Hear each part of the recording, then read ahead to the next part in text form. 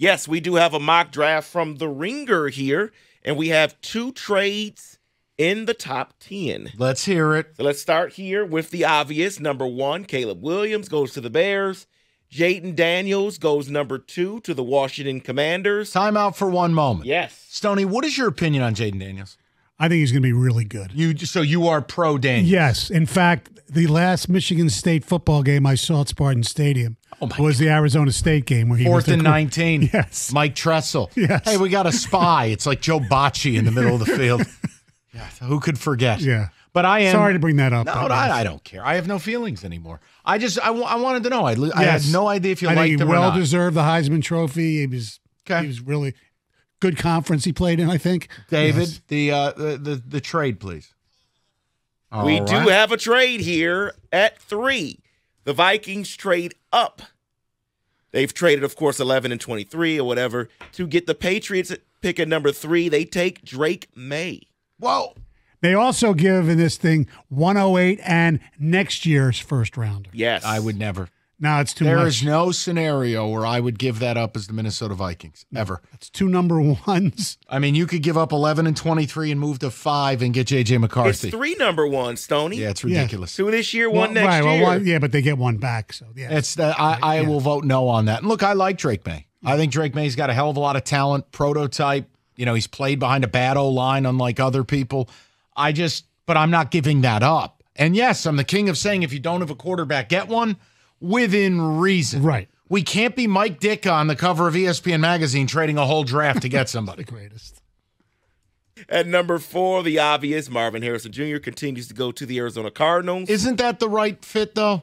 I think so. Yes. I think people have overthought it here with the Cardinals. The problem is there's a lot of people believe that for some reason he's not the best receiver in the draft. That's called prospect fatigue. Yes. Go ahead, David. We have a trade. The New York Jets trade up, take the number fifth pick from the set from the Los Angeles Chargers, and they select Malik Nabers, wide receiver LSU. And they give up a 2025 first rounder as well to the Jets. Okay, I'll, I'll play along for fun purposes. There's okay, no- great.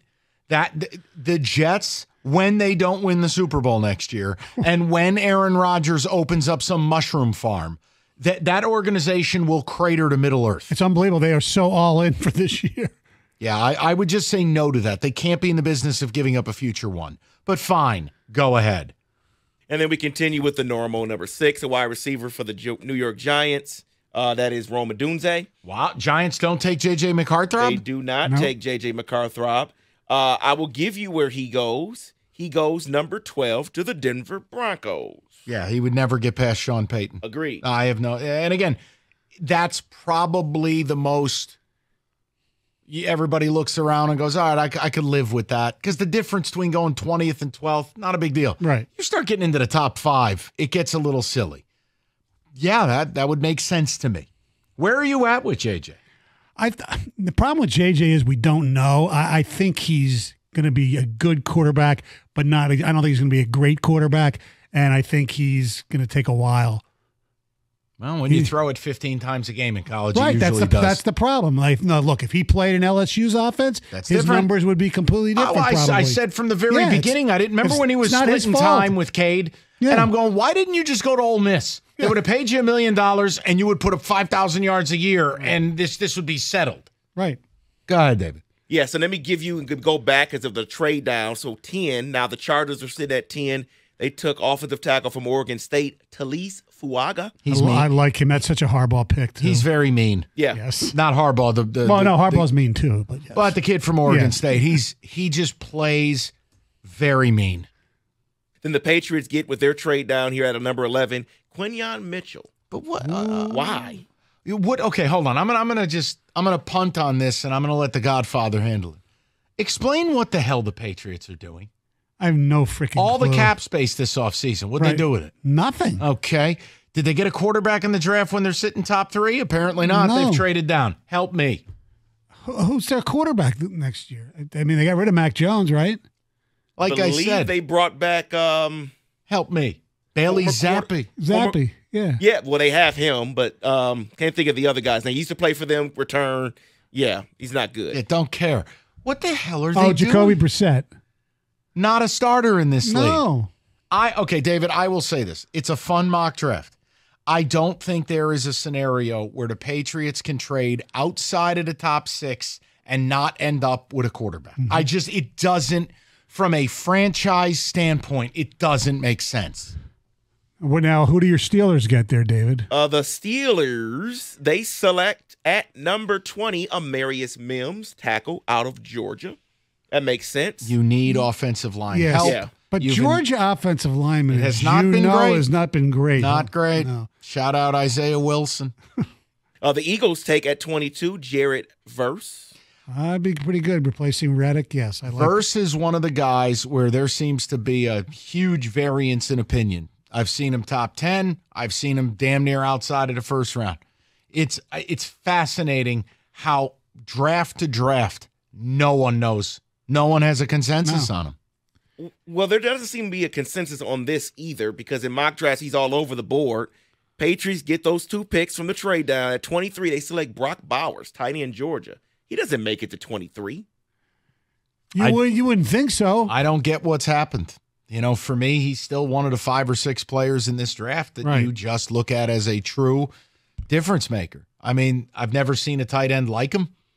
The routes that he runs. if the Giants took him at six, you'd be okay with that. Sure. Uh, eh, if someone could tell me uh, how much longer we're waiting for Darren Waller to make a decision, Right. uh, I wouldn't have a problem with it. Okay. Like I don't. My team blows. So basically, you building for the handing me a good football player Yes. is handing a homeless person a blanket. Right. You can't complain that it's not made of cashmere. I, I just I, I don't care. Give me a human being who can possibly make my dad smile. This team is killing my dad. At 29, the Detroit Lions take out of Missouri Rakestraw.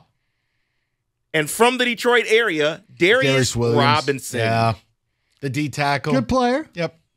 Listen, I, I am. People are going to hate this in the lead up to the draft because I will turn into a Brad bot at 29. Let Brad cook. I don't have a huge opinion at Oh, 29. okay, let me ask you this though. In Sure. this in this scenario, this guy is available at 29. What? Nate Wiggins from Clemson. Okay, here's what I would say to you Brad Holmes' specialty in scouting for the Rams was defensive backs. Mm-hmm. He drafted Brian Branch and got it right. Yeah. Right? Mhm. I, they wanted Witherspoon.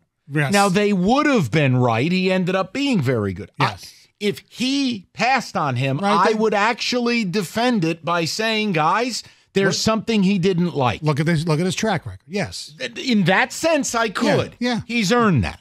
I got no Uh, but Wiggins makes sense on paper that he's long, lanky. He's got big top end speed. You, I mean, he had a play against Miami. He chased down an 80 yard touchdown. The ultimate grit hustle guy Fits got him down at the two. Right. I.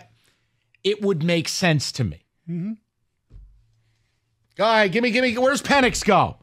Is he with the Giants? Penix does not get You drafted are in a the piece first of garbage. which is a shock All right, to can me. I ask this question? yeah, When it's all said and done and we're all working the draft that week, does Michael Penix go in the first round? yes. Yes. I think so too. Very hard for me. If we're drafting JJ on projection, how do you not draft Penix on production? That end of the first round seems I, th- I th- right I- for a team to trade into. It might not be a good enough reason, but I think it's the injury history. Okay. That would that fine. would be the only reason. And if the medicals don't add up, or you think he's going to be Lieutenant Dan by year three, so be it. I get it. I got you. Jenny. you got new legs. All right. David, thank you for the mock draft.